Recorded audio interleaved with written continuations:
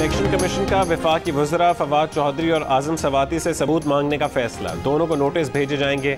आज़म सवाती ने election commission पर पैसे पकड़ने और फवाद चौधरी ने अपोजिशन का आला कार होने का इल्ज़ाम लगाया था।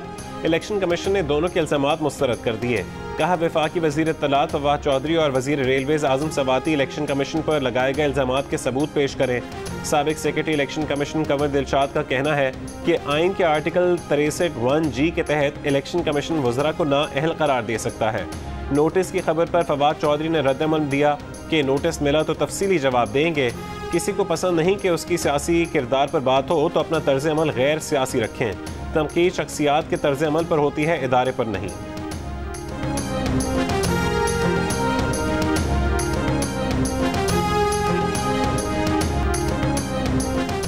मीडिया पर पार्लियामेंट के दरवाजे बंद होने से ला इल वज़ीर तलात फवाद चौधरी का अगले दिन मीडिया का सामना करने से गुरेज। काबीना अजलास की कार्रवाई पर बाबा प्रेस कॉन्फ्रेंस करने के बजाय रिवायात के बरखिलाफ वीडियो बयान जारी कर दिया। Army chief general Qamar Javed Bajwa ने पन्नू आकिल का दौरा किया। आर्मी चीफ को फ़ील्ड में डेजर्ट फॉर्मेशन की ऑपरेशन तैयारियों पर ब्रीफिंग दी गई। आर्मी चीफ ने फ़ील्ड फायरिंग रेंजेस सालेपट में फॉर्मेशन की तरबियत देखी।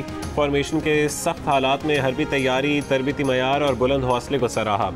आर्मी चीफ ने कहा कि तरबियत के दौरान मुख्तलिफ़ हथियारों और सर्विसज का मौसर जोड़ ज़रूरी है। जंग के दौरान भरपूर जवाब देने के लिए हथियारों, अफवाज का जोड़ होना ज़रूरी है। आर्मी चीफ ने सरसब्ज और शादा पाकिस्तान मुहिम के तौर पर पौधा भी लगाया। आर्मी चीफ पाँच सितंबर को कोयटा में शहीद होने वाले सिपाही हिजबुल्ला जतोई शहीद के घर भी गए। शहीद सिपाही के अहल खाना से भी मिले।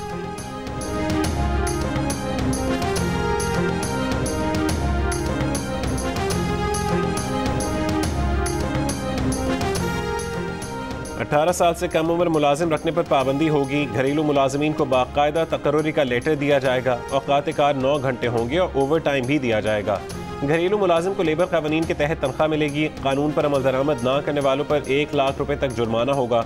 कम उम्र बच्चों को मुलाजमत पर रखने पर चाइल्ड लेबर कानून का इतलाक होगा।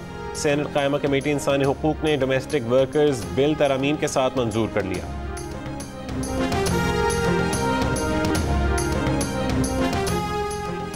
सिंध हुकूमत के तर्जुमान मुर्तज़ा वहाब ने कहा है कि उमर शरीफ के इलाज के लिए हुकूमत सिंध ने फंड जारी कर दिए हैं। उमर शरीफ के अहल खानों को वीज़े का मसला भी जल्द हल हो जाएगा। बैरून मुल्क जाने की दस्तावेजात मुकम्मल होने के अड़तालीस घंटों में एयर एंबुलेंस कराची पहुँच जाएगी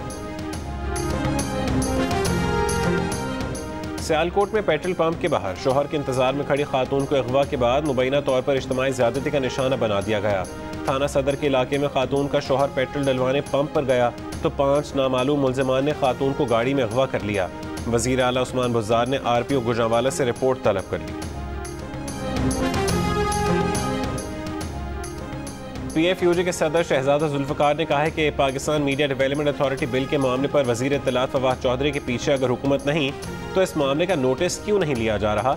सेक्रेटरी जनरल नासिर जैदी ने कहा कि तमाम सहाफ़ी इस काले कानून के खिलाफ मुतहद हैं और किसी सूरत इसे तस्लीम नहीं करेंगे।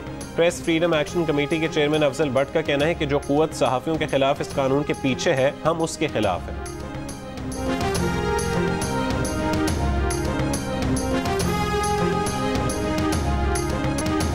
रिटेलर कितना मुनाफा लेते हैं? पाँच फ़ीसद नहीं, दस फ़ीसद नहीं, सौ फ़ीसद नहीं, बल्कि चार सौ फ़ीसद तक मुनाफा लेते हैं। वज़ीर खजाना शौकत तरीन की दुहाई कहा, अब इन लोगों से पूछा जाएगा कि चार सौ फ़ीसद तक मुनाफा कैसे ले रहे हैं। किसानों को सही कीमतें देने के लिए आड़ती का किरदार खत्म करने का ऐलान।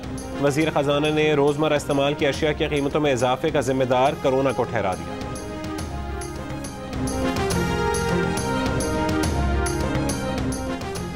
पेट्रोल की कीमत में एक रुपये फ़ी लीटर, हाई स्पीड डीजल की कीमत में दस रुपये पचास पैसे फ़ी लीटर, मिट्टी के तेल की कीमत में पाँच रुपये फ़ी लीटर इजाफा किया जाए। ओगरा ने पेट्रोलियम मसनूआत की कीमतों में इजाफे की समरी पेट्रोलियम डिवीज़न को भेज दी। पेट्रोलियम मसनूआत की कीमतों में इजाफे का फैसला वजारत ख़जाना मुशावरत से करेगी। वज़ीर अजम ने अरकान पार्लियामेंट के अलाउंस में दस फ़ीसद इजाफे की तजवीज़ मुस्तरद कर दी। काबीना अजलास के बाद फवाद चौधरी ने बताया कि मीशत पर बोझ है, इसलिए तनख्वाहों में इजाफा नहीं किया गया। हुकूमत ने हैवी व्हीकल्स की कस्टम ड्यूटी खत्म कर दी। हज़ार सीसी गाड़ियों के पार्ट्स पर ड्यूटी कम कर दी गई। इस फैसले से कीमतों में कमी आई। एफ़ आई ए की कराची में खालिद बिन वलीद रोड पर कार्रवाई। हवाला हुंडी की गैर कानूनी सरगर्मियों में मुलवस बाप बेटा गिरफ़्तार।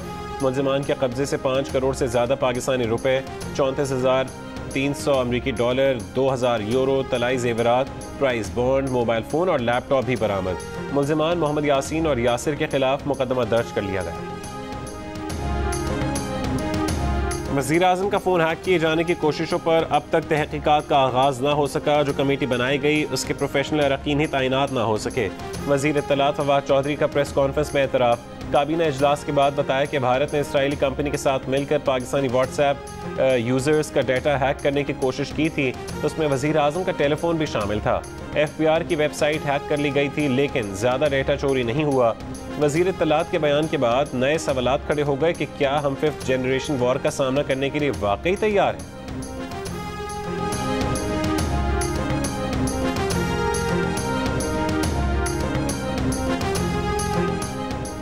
नैब 20 साल से तफ्तीश के कवायद जवाब बनाए बगैर काम कर रहा है। नैब की तहकीकत के लिए कोई बाबा कानून मौजूद नहीं। सिंध हाई कोर्ट में नैब रिपोर्ट पर दरख्वास्त गुजार का एतराज़। नैब प्रोसिक्यूटर ने मौकफ अख्तियार किया कि नैब रूल्स दोबारा ड्राफ्ट करके वजारत कानून और वजारत दाखिला को भेजे। मगर वहाँ से कोई जवाब नहीं आया। दरख्वास्त गुजार ने कहा कि नैब अदालत को गुमराह कर रहा है। नैब रूल्स बनाने में जानबूझ कर ताखीर की जा रही है। नैब सिर्फ़ एस ओ पीज़ की बुनियाद पर तहकीकत कर रहा है। अदालत का भी नैब हुकाम के जवाब पर अदम इतमान आइंदा समात पर वजारत कानून से जवाब तलब कर लिया। दूसरों का एहतसाब करने वाला नैब खुद काबिल एहतसाब है। नून लीग के रहनुमा शाहिद काका अब्बासी की मीडिया से गुफ्तु कहा, नैब हुकूमत की हर चोरी पर खामोश है। वजरा की लिस्ट है जो चोरी करके भाग गए, मगर कोई पूछने वाला नहीं। एक दिन ये हक सामने आएँगे कि नैब क्यों खामोश था। आज का ताज़ा स्कैंडल गंदम का है। सैकड़ों अरब का नुकसान हो गया, लेकिन नैब ने चुप का रोज़ा रखा हुआ है।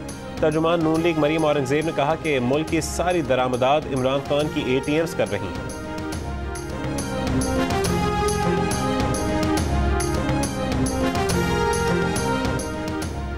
मुल्क में अक्सर सरमाकारों से मुतलिक तहकीक़ात शुरू कर दी जाती हैं। जो कंपनी सरमाकारी में दिलचस्पी लेती हैं, वो पीछे हट जाती हैं। चेयरमैन ओगरा का कायम कमेटी सेनेट में बयान। चेयरमैन कमेटी ने पूछा, क्या ऐसा नैप करता है? ओगरा चेयरमैन का नाम लेने से इनकार, बोले, हुकूमत के सामने मामला उठाया।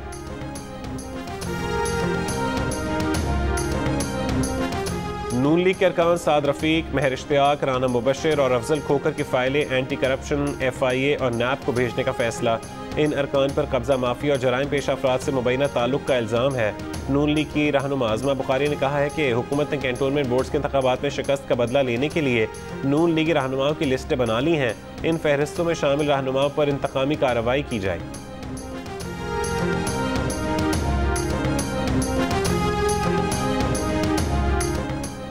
लाहौर हाईकोर्ट में कत्ल केस के मुलजिम वकील के साथी और बाज वकला पुलिस एहलकारों पर तशद के बाद मुलजिम को छुड़ा कर ले गए।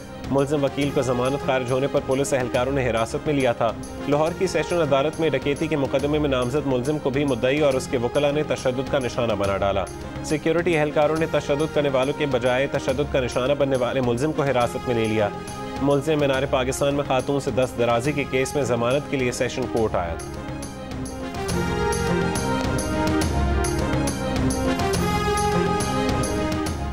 कोरोना सूरत हाल में बेहतरी पर इस्लामाबाद, रावलपिंडी, हैदराबाद, कराची, भावलपुर गुजरावाला रहीम यार खान समेत 18 अजला में बंदिशों में नरमी का ऐलान।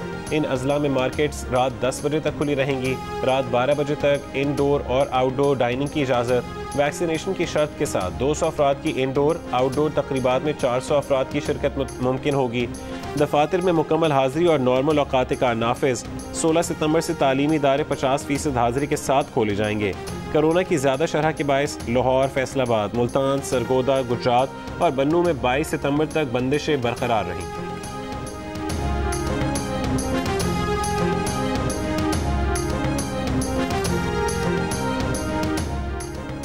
लाहौर में कोरोना का फैलाव कम नहीं हो सका। 24 घंटों में शरह 12 फ़ीसद रही। मुल्तान में शरह 8 फ़ीसद, रावलपिंडी में सात, इस्लामाबाद में 6 फ़ीसद, फैसलाबाद और गुजरावाला में पाँच पाँच फ़ीसद रही। पंजाब भर में शरह सात फ़ीसद रही। मुल्क में कोरोना से मजीद अठहत्तर अफराद इंतकाल कर गए। दो हज़ार पाँच सौ अस्सी नए केसेस की तस्दीक हुई। शरह तकरीबन साढ़े पाँच फ़ीसद रही। रूस के सदर प्यूटन का वज़ीर अजम इमरान खान को फ़ोन। सदर प्यूटन और वज़ीर अजम इमरान खान ने अफ़गानिस्तान की सूरत हाल और दो तरफा ताउन पर तबादला ख्याल किया। वज़ीर अजम ने इलाकई सिक्योरिटी, खुशहाली के लिए अफ़गानिस्तान में अमन इसकाम की अहमियत को उजागर किया। वजी अजम ने अफ़गानिस्तान के लिए इंसानी बुनियादों पर इमदाद की फौरी फरहमी और अफ़गानिस्तान में मुआशी बहरान से बचाव की ज़रूरत पर ज़ोर दिया। अफ़गानिस्तान की गोंतानामो बे बागराम जेल की इंट्रेंस पे हम मौजूद हैं। जैसे ही ये जेल खाली हुई है तो यहाँ पे मुख्तलिफ़ जगहों पे सामान बिखरा पड़ा है कि ये कैदियों के रिकॉर्ड थे, गोली का खोल पड़ा हुआ है। लगता यही है कि इस जेल पे जब तालिबान जिस वक्त आए हैं तो कोई फायरिंग हुई है। ये ब्लैक रूम है, छोटा सा कमरा है, सेल सा है और इसमें एक शख्स ही जो है रह सकता था। अफ़गानिस्तान में अमरीका के अकूबत खान बग्राम जेल में तालिबान और दीगर हाई वैल्यू टारगेट्स के लिए खसूसी सेल कायम किए गए थे। बगराम जेल खाली होने के बावजूद कैदियों और अमरीकी अफवाज की जेर इस्तेमाल अशिया मुख्तलि मकाम पर अब भी पड़ी हैं। बगराम जेल से जियो न्यूज़ की खसूसी कवरेज। अफ़गानिस्तान के अबूरी वजी खारजा मौलवी अमीर खान मुतकी ने कहा है कि अमारात इस्लामी ने अमरीका समेत गैर मुल्कियों के काबुल से इनखला में भरपूर ताउन किया। तालिबान की तारीफ़ के बजाय अमरीका ने हमारे कौमी असासे मुंजमद करके मुश्किल पैदा की। अमरीका समेत आलमी बरदरी को मालूम होना चाहिए कि इंतशार की पॉलिसी कारगर नहीं होगी। एशियाई तरक्याती बैंक, इस्लामी तरक्याती बैंक से दरख्वास्त है कि अफ़गानिस्तान को तरक्याती इमदाद दे। इसराइली जेलों में कैद एक हज़ार चार सौ फ़लस्तियों का अबतर हिरासती हालात के खिलाफ जुमे से भूख हड़ताल का फैसला।